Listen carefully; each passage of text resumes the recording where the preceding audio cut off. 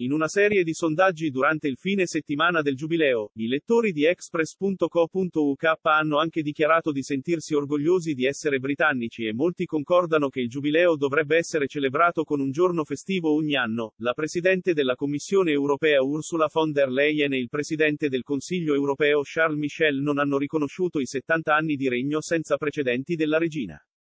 Sua Maestà è diventata la prima monarca britannica a raggiungere il traguardo e si è congratulata con diversi leader mondiali per la sua dedizione ai doveri pubblici.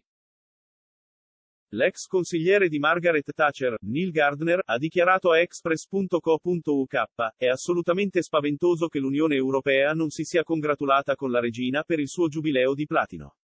Questa è una dimostrazione della meschinità e della meschinità delle elite europee al potere. Evidentemente si risentono per il successo della Gran Bretagna e senza dubbio invidiano segretamente le conquiste del popolo britannico. A seguito del silenzio dell'UE, Express.co.uk ha chiesto ai lettori la loro opinione in un sondaggio che si è svolto dalle 20 di domenica 5 giugno alle 13 di giovedì 9 giugno, chiedendo, l'UE dovrebbe vergognarsi per aver ignorato il giubileo della regina. Punto. Un totale di 4.880 persone ha risposto con la stragrande maggioranza L88%, 4.318 persone, rispondendo sì, l'UE dovrebbe vergognarsi. Nel frattempo, il 12%, 540 persone, ha detto no e altre 22 persone hanno affermato di non saperlo.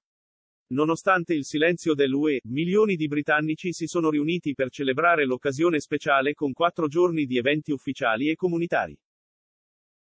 È stato concesso un ulteriore giorno festivo per allungare il fine settimana dei festeggiamenti per consentire ai britannici di rendere omaggio e celebrare Sua Maestà. Da quando è stato annunciato il giorno festivo di quattro giorni, molti hanno chiesto che fosse reso permanente. La star di Dragon's Den, Deborah Meaden, e l'amministratore delegato di ETV, Caroline McCall, hanno lanciato campagne chiedendo al governo di considerare i vantaggi più ampi derivanti dalla trasformazione delle festività pubbliche aggiuntive in un appuntamento annuale.